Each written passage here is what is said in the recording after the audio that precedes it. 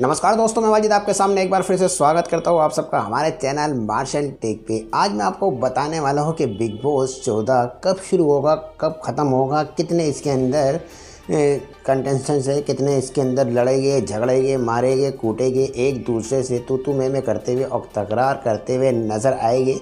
कौन से दिन शुरू होगा और कौन से दिन ख़त्म होगा। तो सारी चीज़ें मैं आज आपके सामने लेकर आए और इसे होस्ट कौन रहे, कर रहे हैं? इसे कर रहे हैं सलमान खान। जी हाँ सलमान खान होस्ट कर रहे हैं और ये शुरू होगा चार अक्टूबर से।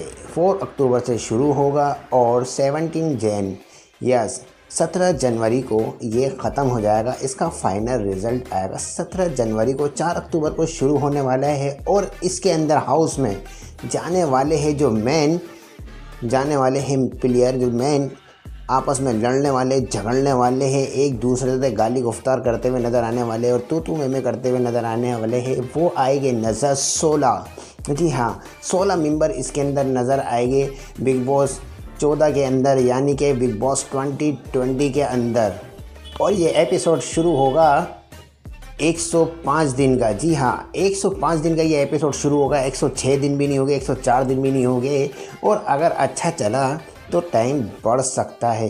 तो ये शुरू होगा 105 दिन के लिए और 105 दिन में 105 एपिसोड हो गए देखिए ज़रूर।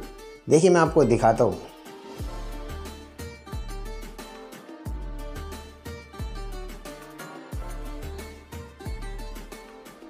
तो देखा आपने बिग बॉस चौदह कब शुरू होगा, कब ख़त्म होगा, कितने मेंबर हो गए और कितने टाइम चलेगा, कितने एपिसोड हो गए। तो अगर ये हमारी वीडियो आपको पसंद आई है तो प्लीज़ लाइक करें शेयर करें कमेंट्स करें और सब्सक्राइब करें हमारे चैनल मार्शल टेक को।